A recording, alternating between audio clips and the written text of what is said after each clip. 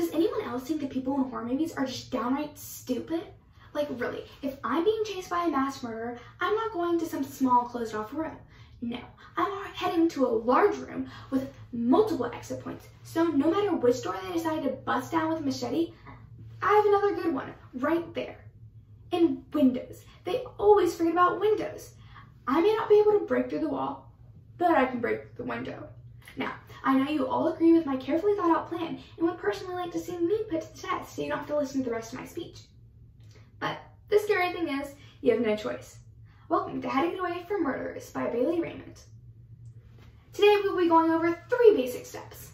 First, we'll look at the background of the location. We'll see how fear is cultivated and controlled in your brain. Next, we'll look at the killer slash specter in front of you today.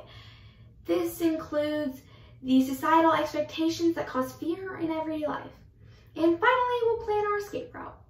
Courage comes at a cost. It's much too expensive for most people, especially those horror movie characters, the little wimps.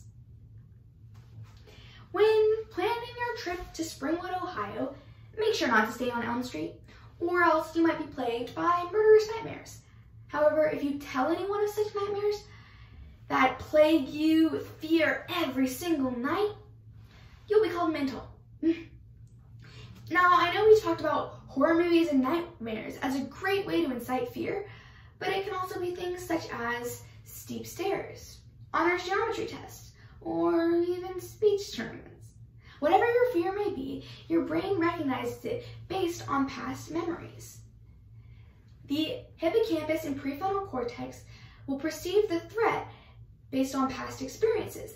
Then the amygdala will send out a signal to the motor functions that are responsible for carrying out the fight or flight response, which includes increasing the blood pressure and breathing rate, giving your bloodstream a healthy dose of adrenaline, and pumping blood to all of your muscles.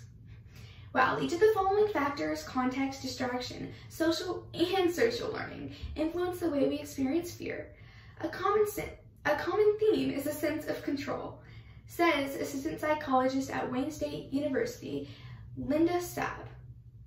Your brain will directly target the threat at large. I should probably mention that your response to watching a horror movie is a lot different to your response of living in one.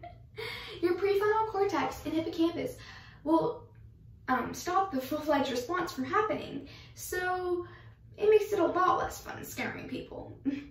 now, we know that our brain has a pre-programmed response for how to deal with fear. The question is, are we born with fears as well as those that we learn? It has been discovered that all living creatures are born with two innate fears that developed through evolution. A 1960 study by psychologists Eleanor Gibson and Richard Walk at Cornell University set up a visual cliff to test this. Small animals and children were beckoned to cross a glass platform, and many would not. This proves that once depth perception has been developed, so does a fear of falling. Seth Norrholm, a translational neuroscientist at Emory University, explained how humans and animals both have an acoustic startle response when a loud noise occurs. This means that you'll duck when you hear a balloon pop or a really loud scream. I would demonstrate, but I have to preserve your ears for the rest of my speech. After seeing how our brains process and where some of our fears come from, we are going to look at how fear is used to control in everyday life. Have you ever seen the movie Saw? No, not Seesaw. The movie Saw, with the guy in the creepy white pig mask. I want to play a game. well, just as Saw manipulated his subjects into doing things such as cutting off their own feet, we have constantly been manipulated by fear throughout, throughout our lives in a very less gruesome way. As a child, fear was used to train you into submission because bribery doesn't always work. You ever get yelled at as a kid for writing on the walls or a piece of antique furniture that you inherited? Was that just me? Well, all those experiences made you who you are today. Through your childhood, you were taught by your own mistakes and through the mistakes of others in stories. The true Grimm fairy tales are much more gruesome than some horror movies. The boy who cried wolf taught you that the consequence of lying could be getting eaten by a wolf. Hansel and Gretel taught you that disrespecting your parents and being greedy could result with you being eaten by a witch. The three little pigs told you that if you just skimmed and didn't do hard work, you'd be eaten by another big bad wolf. Being eaten was a common source of fear in a lot of children. We were taught morals as a child by being scared into compliance. This is a way fear was positively used to control and teach. In your life today, fear may not be, yield such positive consequences. We walk through life searching to stay in the indistinct boundaries that society has granted us. As Rita Brown, best-selling author who specializes in murder mystery, points out, the reward for conformity is being liked by everyone but ourselves. We've been taught to highly value the opinion of others. This includes appeasing those who are more powerful or we view as greater than us. Many are raised to be subservient to their elders, which creates a servile, silent personality in too many people.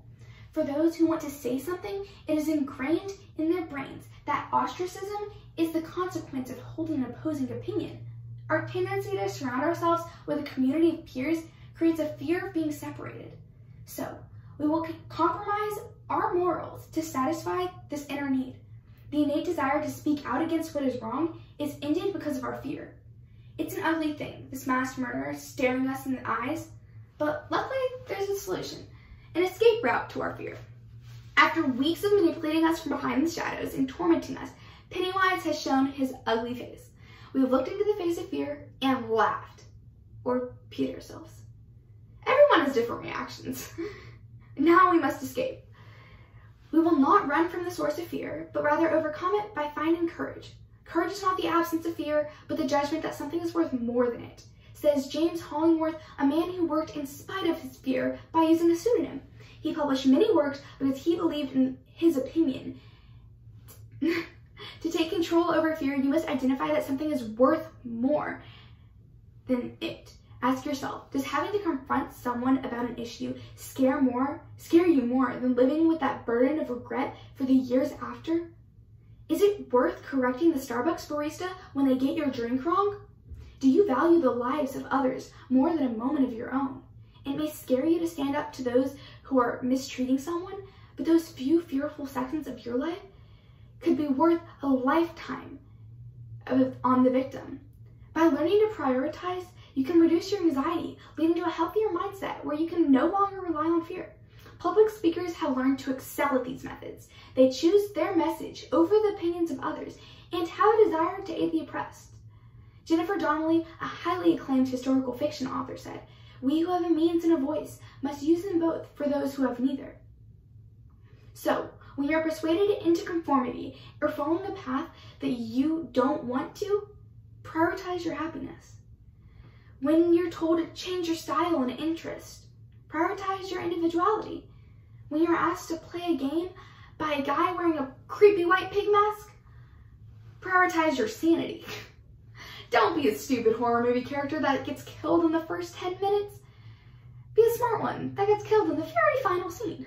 Your efforts to override your fear may not always be fruitful, and sometimes the backlash will be too strong.